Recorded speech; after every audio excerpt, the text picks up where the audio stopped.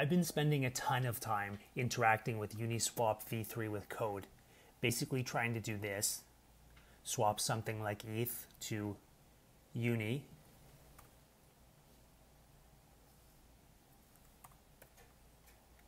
Except doing this with code. This is a prerequisite for doing anything cool like automating arbitrage.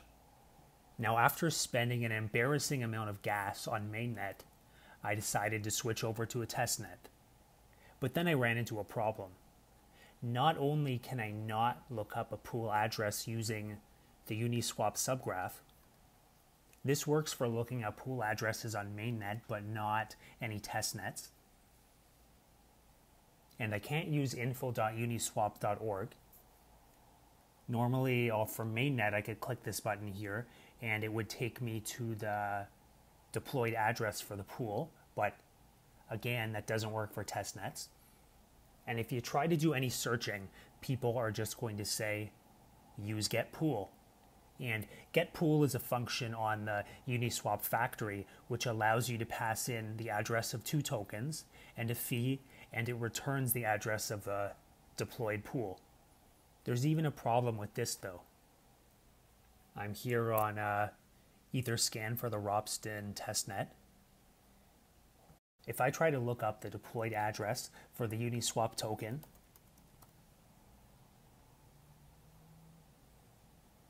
take a look at this. It's been deployed a ton of different times to different addresses, and I don't know which of these addresses actually relates to the Uniswap that I'm selecting here inside the UI. And while the main contracts for Uniswap are the same regardless if you're on the mainnet or a testnet, that's not always the case for any of the tokens you might be swapping. So after pulling my hair out for about 15 minutes, I figured out a way to solve this that should basically always work. Here's what you do. You go to Uniswap,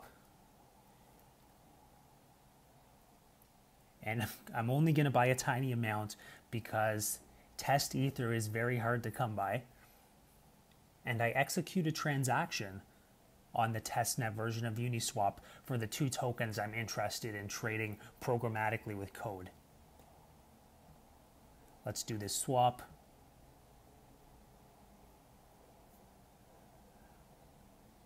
I'm just going to approve that.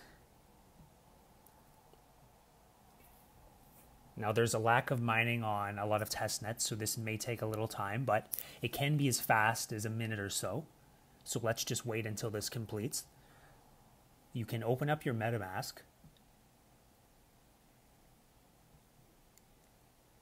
And you can go view account on Etherscan. And that will open up your transaction details for your wallet in Etherscan. So here I have my wallet in Etherscan with transactions that I've made with it. And I'm going to open up the latest transaction. And here I have that transaction that I made in the UI. And we can see here the tokens that were transferred. So all we need to do is open up these two tokens, and that now gives us the token addresses that we can plug into that get pools function. So here I have the address for Uniswap on uh, Ropsten testnet. And here I have the address for Wrapped Ether on the Ropsten test network. Let's write some code and I'll show you how to actually run that get pools function.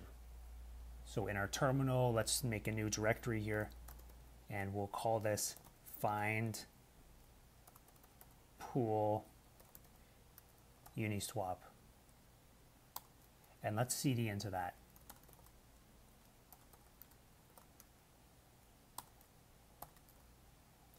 Now let's initialize npm, npm init-y, and then we'll install a few libraries.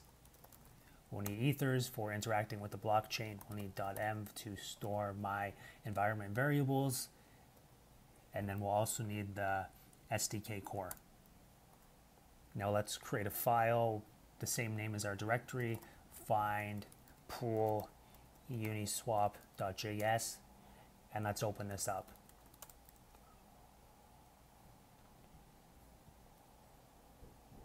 So inside our file, we're just going to require a couple libraries to start.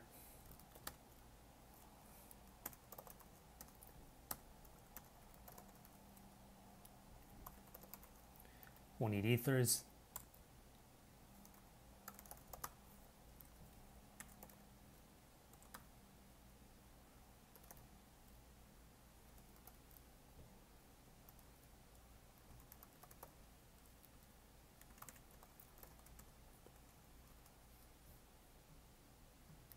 We'll need the ABI for the Uniswap v3 factory.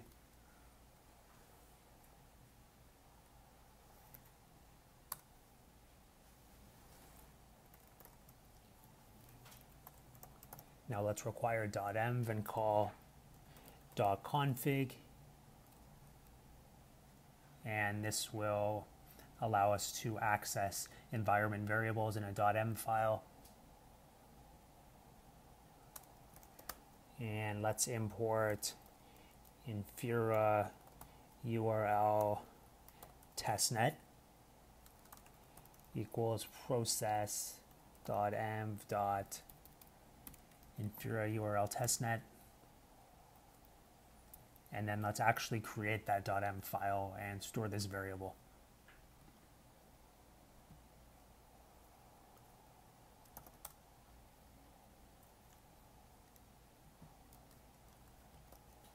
So for this, you will need to put in your own URL. I won't show mine here.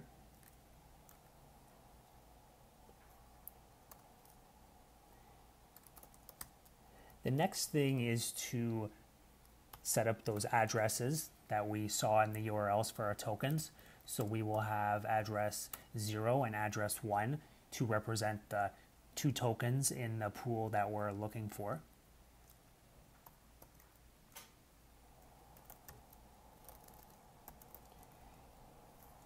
We need to write this inside a function, so we'll just call that function main, and then we'll call it. And inside here, the first thing we'll do is get the provider using the Infura URL. So new ethers providers dot JSON RPC provider, and then we will pass in our URL, which has the credentials built into it already.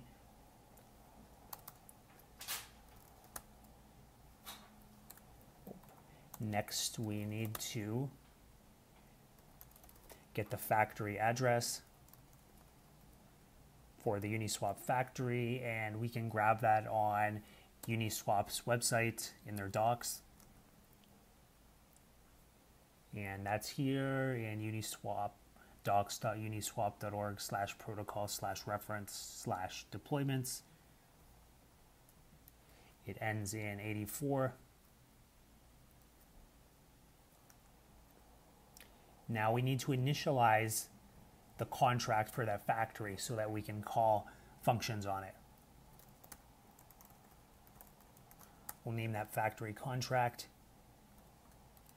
and then we'll do new.ethers contract and then we'll pass in the factory address. We will pass in the ABI that we imported and then we will pass in the provider.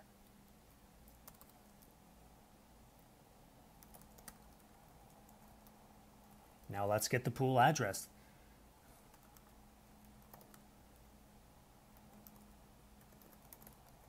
So factory contract dot get pool and let's double check the arguments that that takes. Okay, and I have it here in the docs for v3, so it takes the address of the first token, the address of the second token, and a fee. I'll explain the fee in one sec. So it takes the address of the first token, the address of the second token, and then the fee, which is in bips. And you may not know this, but there can actually be multiple different pools for the same two tokens. There can be a Uniswap pool for every combination of two tokens and a fee. And there's three different fee tiers for Uniswap. You can see that uh, when you're trying to create a pool yourself. Let's really quickly do that in the UI.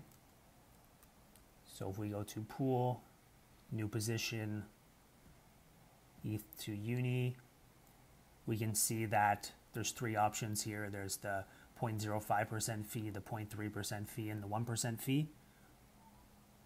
You don't have to understand those too much right now, but just know that there are three different possible fees.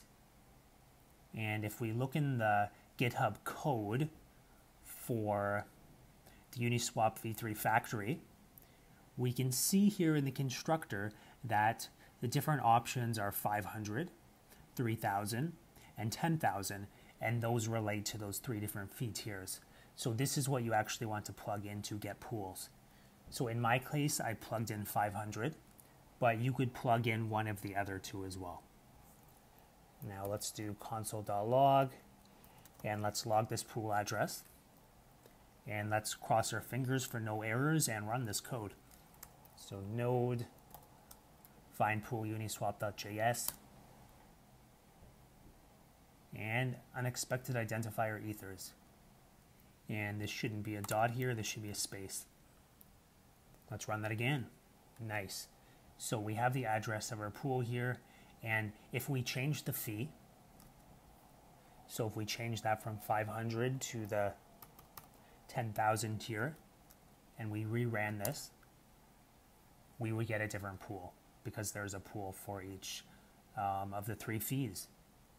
And if we take this and we go to ropsten.etherscan.io and we search this, this is the contract for that pool. If this helped you, give it a like and subscribe. And if you found a better way to do this, I would love to hear about it in the comments. Until next time.